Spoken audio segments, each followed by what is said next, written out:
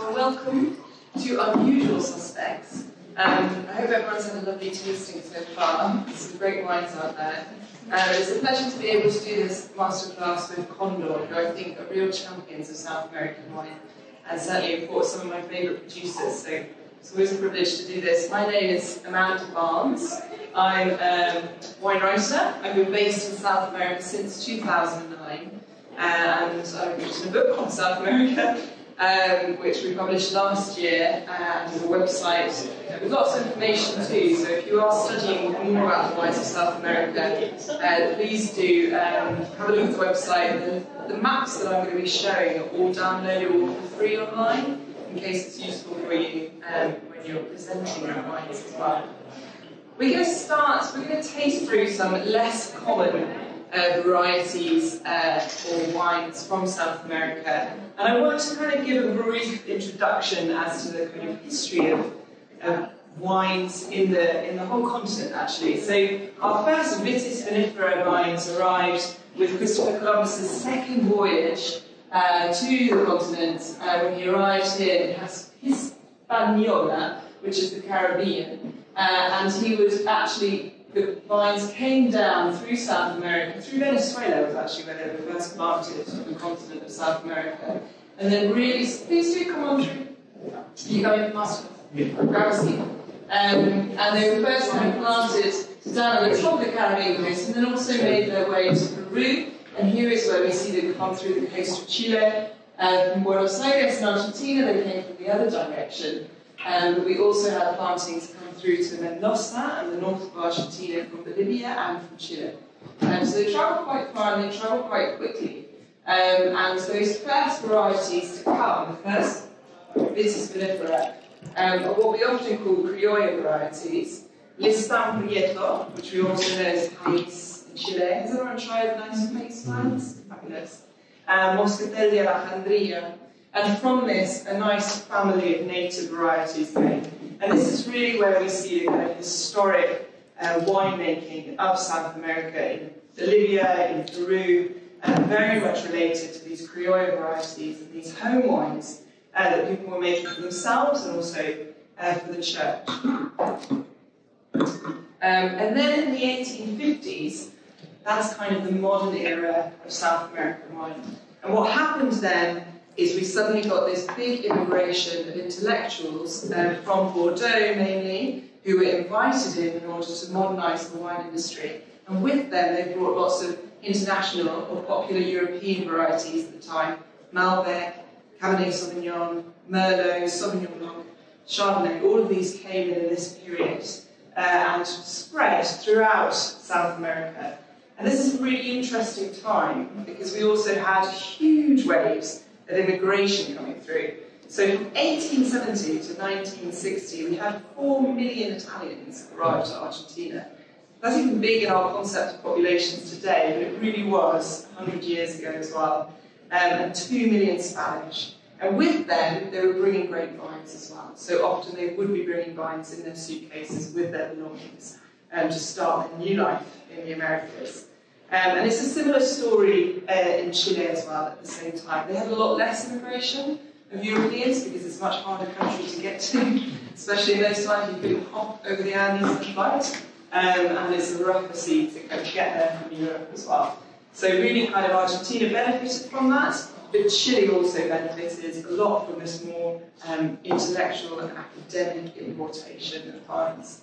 Why is that so interesting in the history of European wine? Because what happened at the end of the 1800s? Phylloxera, which completely decimated many of the vineyards of Europe. And so actually Chile becomes a real treasure trove um, of these old varieties, which got lost elsewhere. Um, because largely Chile was never affected by phylloxera, and Argentina was very rarely affected by phylloxera too. So those are our kind of two main eras.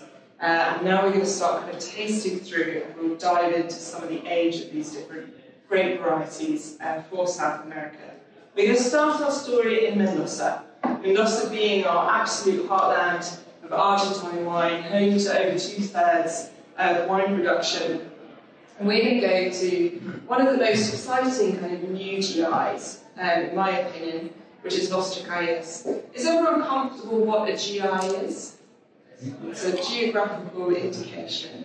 Uh, and that's kind of the modern appellation system in Argentina. Now, what's really interesting about these new GIs is that historically in South America and most of the world, in fact, um, appellations have been political, political boundaries. Um, whereas these modern GIs are looking at geology, they're looking at climate, and they're looking at precedents or style of the region. So it's not quite the same as our French appellations, which control what you're planting, how you're planting, and your production. It's looking at creating an appellation that shows some continuity in terms of microclimate and soil and the character of the wines. So in order to achieve this, they do have to be able to prove how their Malbec tastes different to the region next door. Someone very interesting to talk to about the development of this GI is, is Thibault.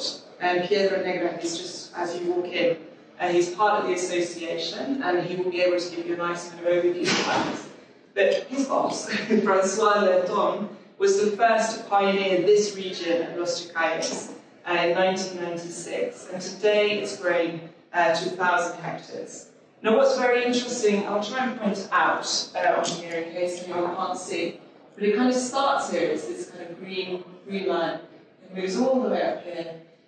And what's fascinating about Los Chacayes is even though we do have um, a unity of kind of expression in some of the wines, there's a lot of diversity within this region. So it spreads uh, just over 15 kilometres, but within that we have over 700 out metres of altitude difference between these lower areas and the higher areas. And we've also got lots of different soils because we're at different proximities to the mountain range. Um, so we go from Winkler 1 to Winkler 2 uh, and 3 in some cases. So quite significant differences climatically, but much more consistent Los Chacayes compared to you know, comparing it to the other regions. What we're going to see, I think, in the next decade or so is splitting up these GIs even further. Um, but that's still a way to go because we're still describing the difference between Mendoza, Uco, Tunuyán in this case, and then Ostracarda. So there's still a lot of work to go, but if Burgundy can do it, there's no reason that we can't do it. just to confuse, just to make it even harder for everyone, but even more fun. To start going down the route it's actually really good fun. Okay, so our first wine um, that you should have here is uh, the Jackot. Does anyone know what Jackot stands for? We, we cheated because we came You were yeah. yeah, so if you flip it, it's the opposite of Tokai, uh, which is the variety of Tokai Friulano that was widely planted uh, in Argentina. Uh, Sauvignon Vert is another name for it. Uh, and actually, Lurton started bottling it with Tokai on the label and got in a bit of trouble and had to remove it and made a very careful, like fun play on the word um, to change it to Jackot. But here we are um, with this pure Friulano wine. So let's have a taste. I love this wine and it's nice to start with.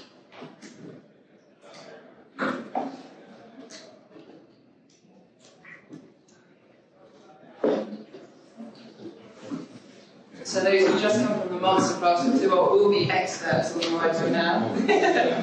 um, but what I love about this wine is that I think it really embodies that more textural style of white wines that we're really starting to see in premium Argentinian wines. You know, it's got lovely length to the palate for me um, and a really kind of bright acidity. And I think Los Chacayes is a region where we get excellent quality white and reds and very much under the, the banner of Lurton, really, um, we're seeing quite diverse varieties in the region as well. And they were one of the first to do a really top white blend, which is another kind of key uh, trend and movement that we see in Argentina.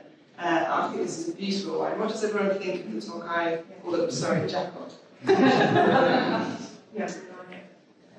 It's, it's lovely. And that's also, I think, it really kind of shows that um, moderate use of oak, just kind of bringing a bit of texture, add a bit of kind of, um, you know, ageability to the wine, and then also this kind of use of kind of concrete and uh, very kind of neutral winemaking techniques.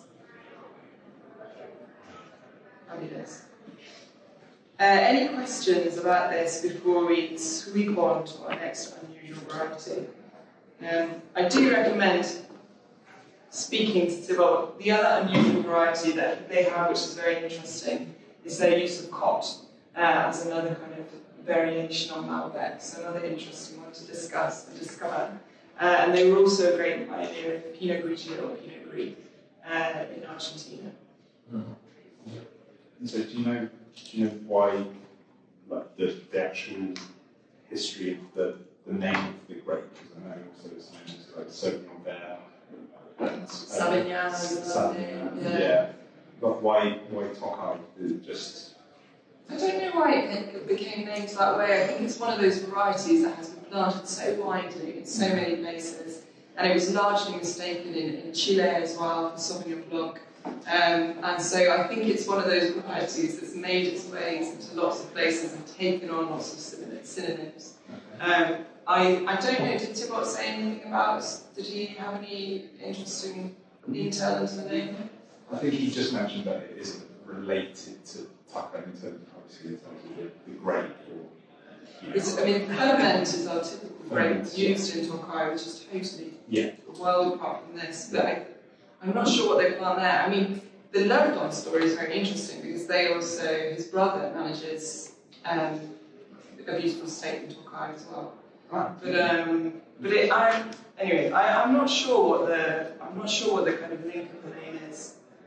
We'll go. Let's go ask him. we'll grill him and see if he's got the answer. I don't know if you know that you do. I don't know.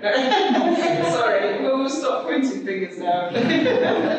None of us know. we'd, have, we'd have to dive into into wine grapes and see if there's an anecdote about it.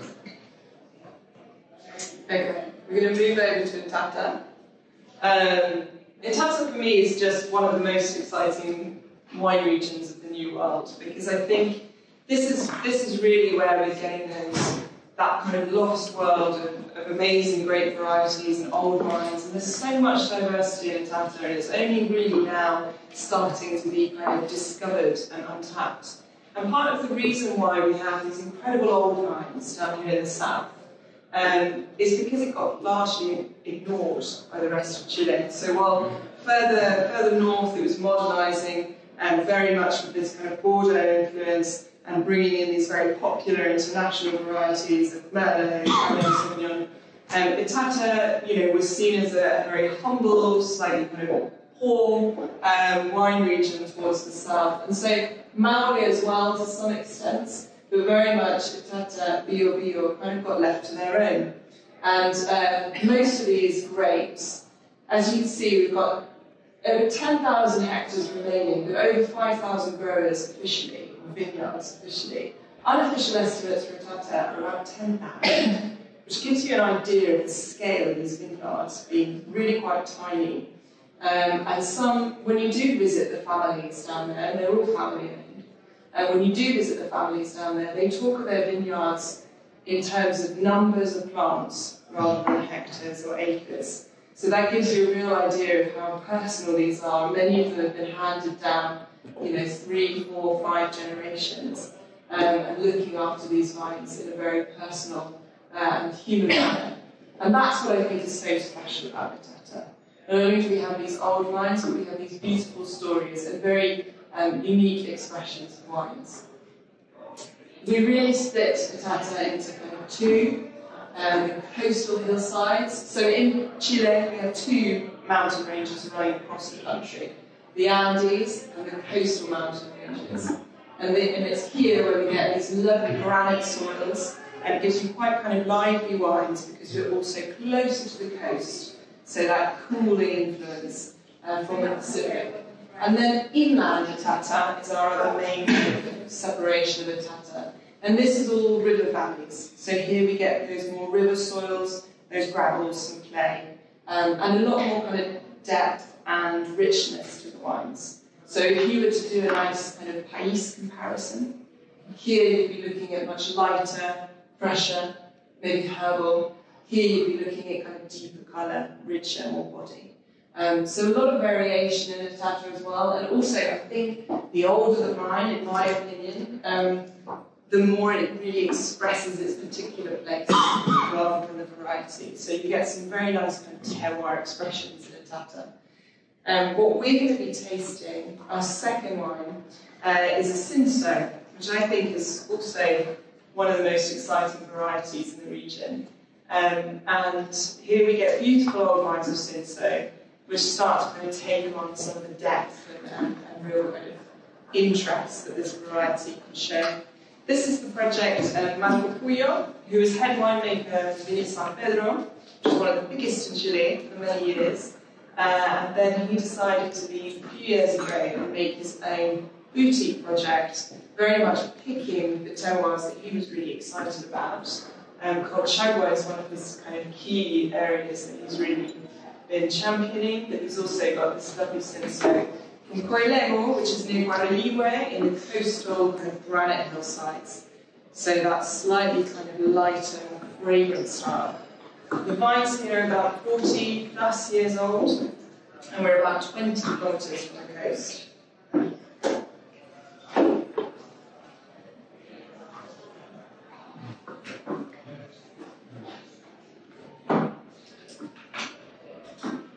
And this is very much about making the wine with low intervention, show that real kind of freshness of the fruit, express that kind of simplicity of, of this, this variety, but also the kind of nuances that you get from the terroir. So all kind of in um, concrete vats, no influence of oak whatsoever.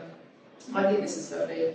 For me, this is you know, that my kind of wine that I like, slightly chilled, perfect kind of summer going into autumn, perfect for this kind of like meh weather in the middle, where you don't want something too kind of hearty yet, but you, you want a bit more kind of bones and structure. What does everyone think of this, this wine and kind of Itata's in general? Does anyone stock it yet? I know it's kind of new to the profile, the portfolio.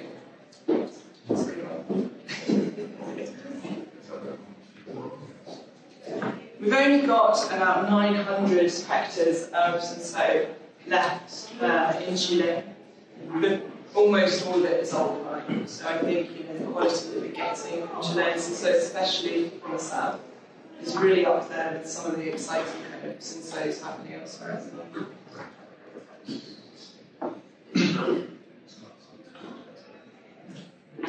Okay. We're going to jump over to uh, Argentina now, cross over to the Andes, and anyone, in case, unless anyone has any kind of questions about this region of Chile. One question. So the the Itatino part of the label, that seems quite clever given the region it's from. Is that the way that they're all going to be labelled from that region now, or? Or is that, or is that, or is that just his smart marketing? His smart yeah, marketing. Absolutely. But a lot of people are really, a lot of the winemakers are really trying to champion Itata on the label.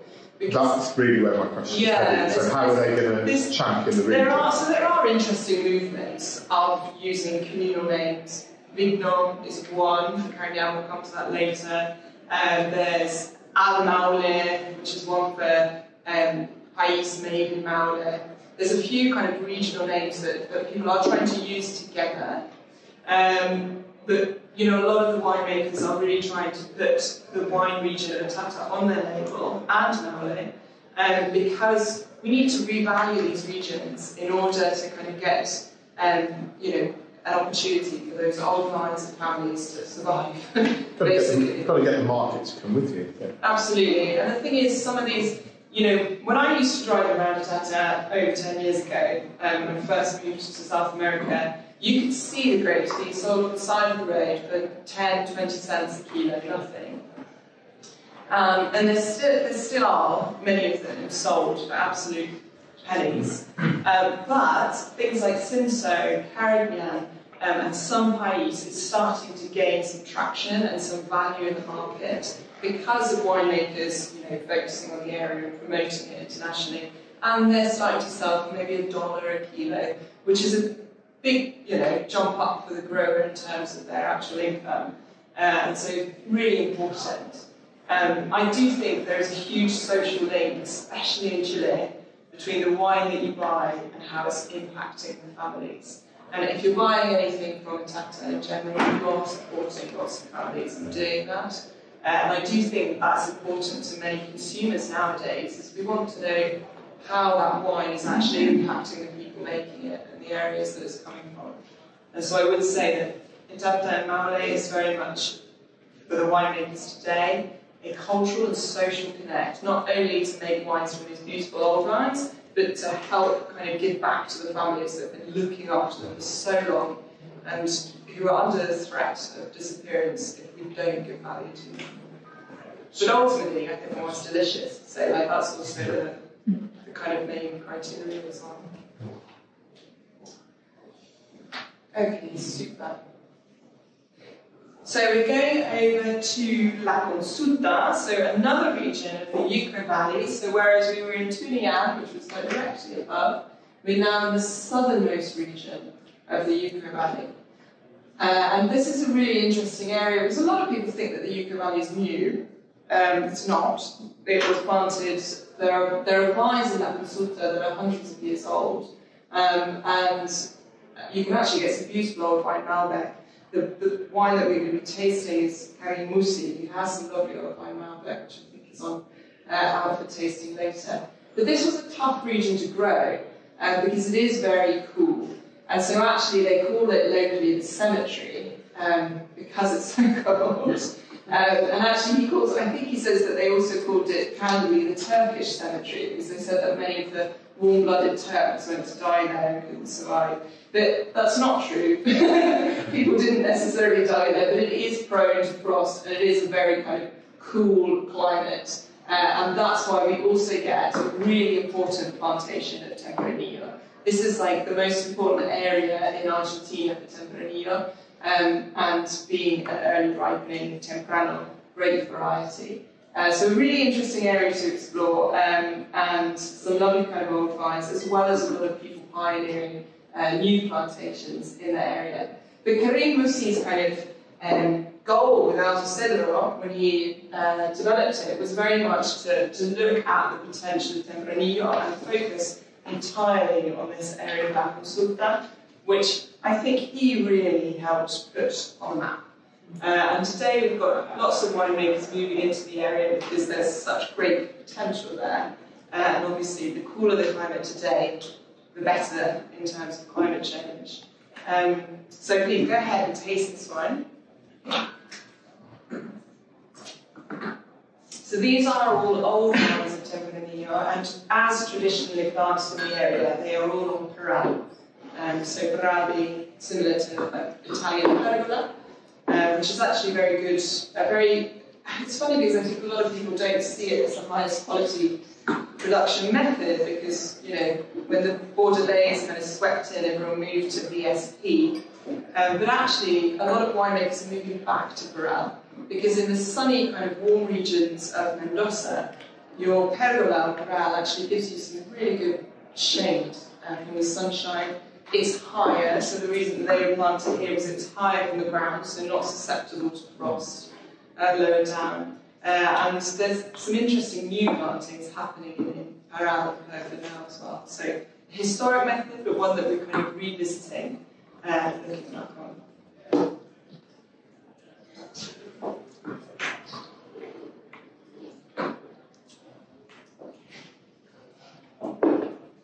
And as is kind of classic with Spanish Tempranillo, we see a bit of American oak coming in here, which gives us that nice kind of slight sweetness which I think suits this variety very well. But what I love about this Tempranillo in particular is that it's got a real kind of graphite freshness to it on the finish, in my opinion. Um, how do you all find it? Have you tried much Tempranillo from Argentina?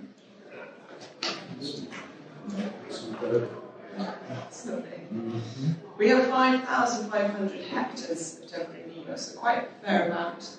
Um, but I would definitely say, say that Mussi is, is absolutely the one who's kind of made it and waving the flag for it um, at a premium level uh, and showing it to the world. I think he does it very successfully with, with this wine.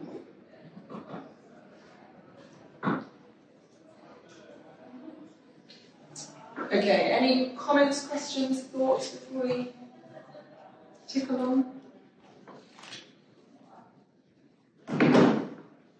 All right, so everyone's had uh, a couple of whites now to, to get the to get into the mood. What do you think is the most planted grape variety in South America? I'm supposed to get it right. I was hoping that people would guess it a bit well. Certain Cabernet Sauvignon. I'm so excited. I thought someone at least out there. okay, so absolutely, Cabernet Sauvignon is. Um, so I should never ask anyone in the front row first.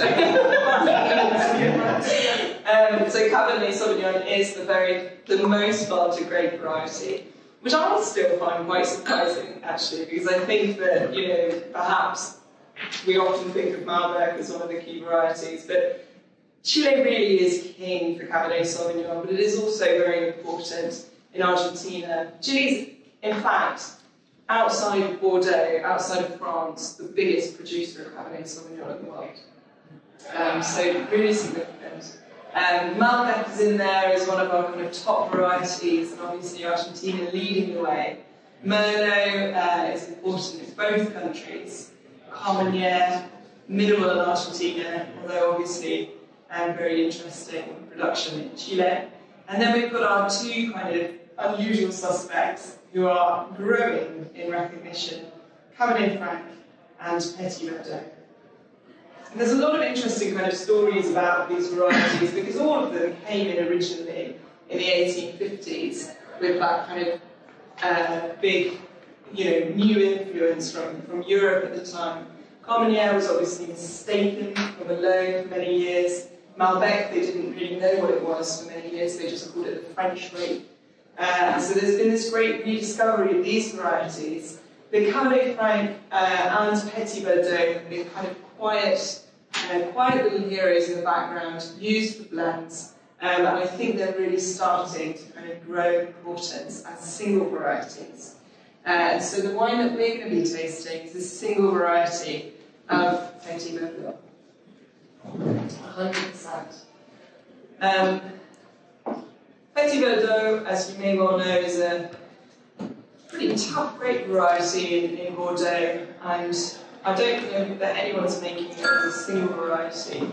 But it is growing, actually, in Bordeaux, because this is a variety that is actually very well um, suited to climate change and warmer temperatures. So actually, in Saint-Emilion, we're seeing some kind of in, new interest in Petit Verdot, because it gives you that acidity, uh, it retains acidity, um, and if you have warmer years, you can ripen it. Whereas in Argentina, we can ripen it every year, and we can ripen it to a really kind of beautiful level, uh, where it isn't too feisty. It's actually, I think, quite a smooth wine.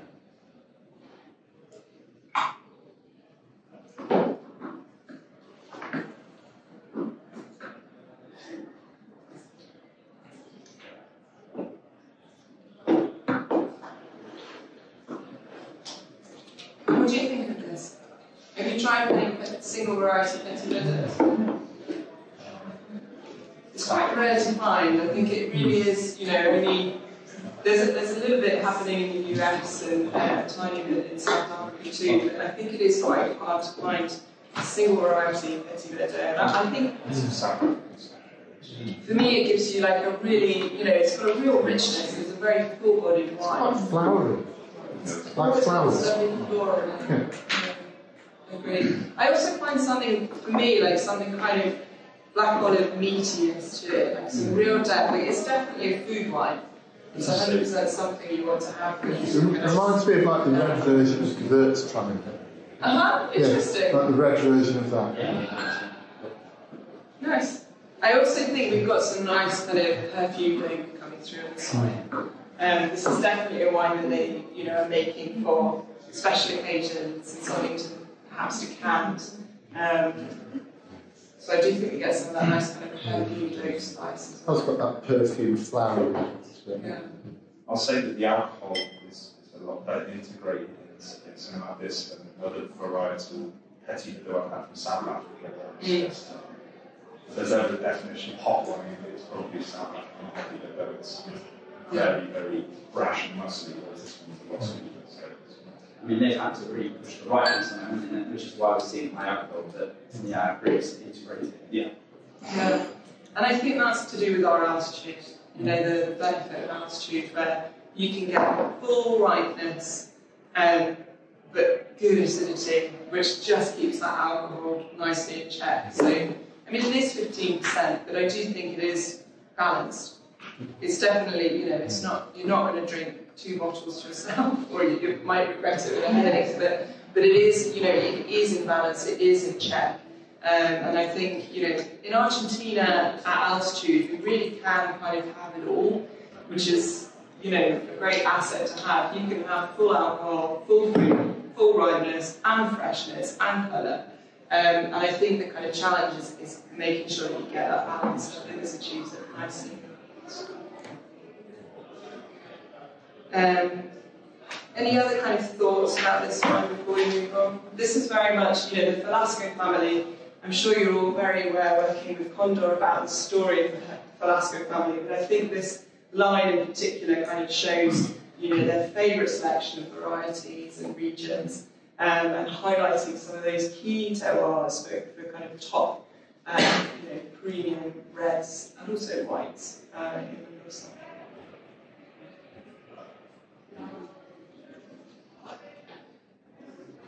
Right.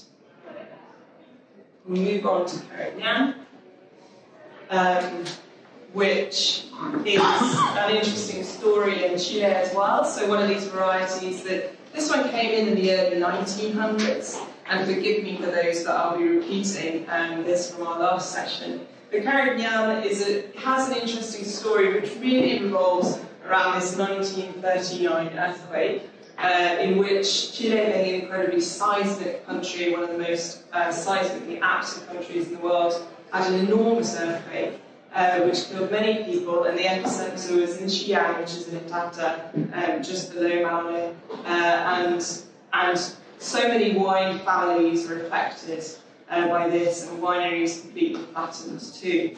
But actually, one of the grand plans at the time was to give people Carignan, which, if you've tasted País, is a great kind of um, you know antidote to the light and, and lightly coloured and, and, softer of País to give it a bit of Carignan to kind of bolster up the blend.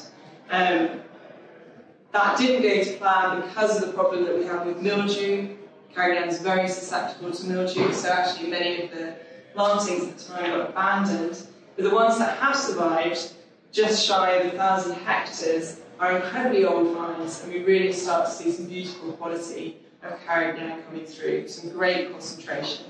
Uh, and in this case, uh, we have pure Carignan um, from old goblet vines, much like in, in this uh, in Malden. And this is where we do see um, some winemakers getting together and using this elected term uh, for Carignan to, to promote the region. Uh, in this case, um, we're looking at a single bottling uh, for uh, for the Toro de Piedra and, and Requingua brand, uh, and this is their top Carignan. I think this is, this shows the real kind of brightness uh, and full fruit uh, that you get from Chilean Carignans, which I do think is very different to any of the Carignans we get from Spain or France. And I've tasted some really old vintages of Carignan, and I do think this is a wine that ages wonderfully well um, and one that you can kind of hold on to for over a decade. Uh, it's still so kind of vivacious, full of acid, um, full of fresh fruit.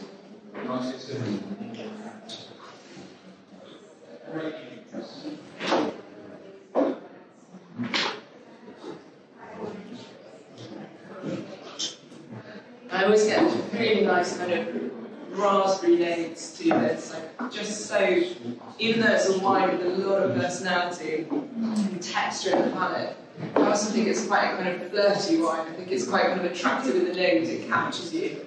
Um, with this kind of floral and fresh raspberry note. What are your thinking? Have you tried this before? Yes, I've tried it before. I think I think when shown in tastings, uh, the public, uh, obviously a little bit reticent, a little reluctant initially, looking for labels on bottles, when you show it to them and they taste it, it's, just one of those moments. And they just said that's one of the best wines on the tables.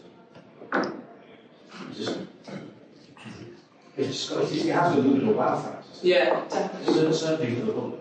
I think so. I think it's one of those, I think Chile can do that wow factor really well because you just, in Chile, you get this real brightness fruit. And it's so, you know, it's because of the amazing sunshine that you have there and the kind of purity of the air, and you just get this incredible brightness of fruit. It's so easy to, to blind taste Chilean wine because it, it smells like fresh black fruit and red fruit from the forest. And I think it delivers, you know, I think this is so much wine for the money because it, again, it's really balanced with that great, it is a big wine in terms of, you know, it's very active in your mouth. But it's got that great acidity, it's got that great fruit purity, and then some of that spice and kind of sweet nuance running through. This is, for me, Carignan in Chile is one of the ones that have, has everyone tried morcilla, blood sausage? Like, in South American blood sausage is much nicer than the stuff we get here because they put so many spices through it, and it's a lovely kind of rich, like earthy taste, um, which balances beautifully with something like this. Similar to like mochi or something like that. Yeah, But it's not spicy. I yeah. Bringing in some, like bringing in some of those really kind of more exotic spices in there, not not spicy and hot, but spiced in. Yeah. Has anyone got a favourite? Does anyone have this and sell this and have a nice pairing for it? Try blood sausage. or something rich, like some of the nice kind of stews and that dark kind of meats. We, we started 100% carrying from another one, in uh, Khan. Um, being Italian, it's, it's got similar notes, um, and it, but it has more of that kind of like cured or savoury meat Mm. tones to it that you sometimes get with. Whereas This one is, like I said, all about fruit, and then it's got that, of like that, that lovely kind of spicy finish to it. So, um, both are great. But this is the first one I'm actually drinking today. Good, and drinking. What was it? Things, very nice. I'm keeping, I'm keeping this one. But it's interesting because I feel like actually the Petit is fuller bodied, it's more rich. But I think the reason you know, the Carignan we should have last in this tasting is because that acidity is so high. You know, it really is, it's a wine that would cut through so many dishes. Um, and yeah, I, I think, you know, it does have wow factor. But for me, all of these wines have their own wow factor in a different way. Um, you know, from the lighter, juicy Cinsault through to our kind of bolder reds and then our very textural um, jackot. Um, well, I've raced through that quite quickly, but, but you do, but you've got lots of wines to, to taste outside, um, and I know you're really good to, to carry on tasting. So if anyone does have any more questions about the wine regions in general or comments about the wines, then I'm here for now. Thank you. Thank you very much.